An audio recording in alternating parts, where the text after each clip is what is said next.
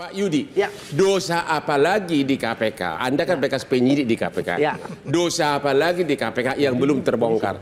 Anda nggak usah takut lagi. Ini kesempatan bagi Anda. ya, saya pikir apa namanya itu bisa dibuktikan nanti lah. Bagaimana dosa-dosa yang lain bisa lu. dibongkar ya kan? Tapi saya tertarik dengan tadi apa yang disampaikan oleh Bang Asmi ya. Ya. Bagaimana ternyata KPK pun eh, sebelum Firly tersangka bahkan sebelum Firly nonaktif masih mencoba untuk memakai peluru hampanya yang terakhir. Peluru hampa. Ya. Menarik itu peluru hampa. dengan misalnya menyerang Pak Karyoto Ya. gitu kan.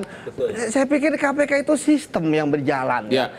Bisa dimonitoring, ada ANEF ya, semua jelas ada register perkara Hmm. ya dari ujung sampai nanti dia ingkrah sampai kemudian eksekusi Ya. ya. Jadi ketika misalnya pimpinan mengatakan bahwa ini macet sebagainya, kok nyalain anak buah?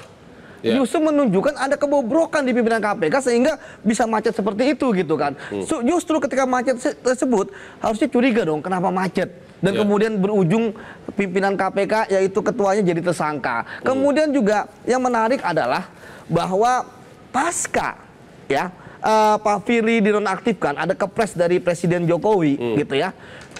Angin berubah dong 180 derajat. Yaitu? yang kemarin katanya mau dengan gagahnya akan memberi bantuan hukum kepada Pak Firly batal ya kan? Pada takut semua ya? pada takut semua. Kemudian uh, aksesnya Pak Firly ya itu dicabut tuh. Artinya apa? Ini luar biasa. Dia non aktif loh. Non aktif kan artinya hanyalah pekerjaannya. Yeah. Artinya Pak Firly harusnya tetap harus ke kantor. Berarti pimpinan KPK yang lain mengikuti arus gitu? akhirnya mengikuti arus. Nah, saya ngelihat harusnya Pak Firly itu tetap datang ke kantor, minimal setor muka walaupun nggak ngapa-ngapain, gitu Ya. kan? Kenapa? Dia masih terima gaji loh dari negara, dari uang rakyat, ya walaupun Tapi aksesnya udah di- dicabut ya? Ya, walaupun dicabut ya, dia bisa di bawah, di Ya. lantai yang umum. Kan dia bisa dipakai sebagai tamu. Ya. Jadi dia di perpustakaan aja, habis itu jam 5 dia pulang.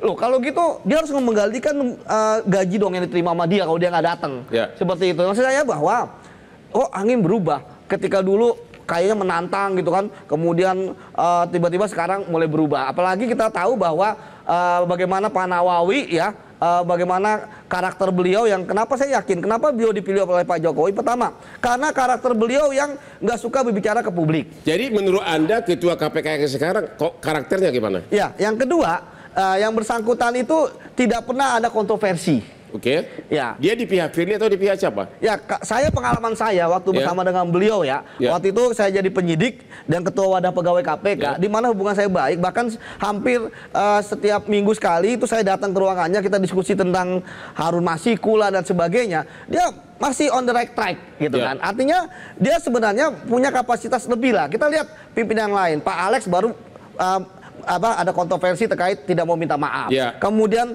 Pak Alek apa Pak Nurul Gufron ya bagaimana dia menggugat di MK untuk perpanjangan satu periode. Ya. Eh sorry perpanjangan satu tahun.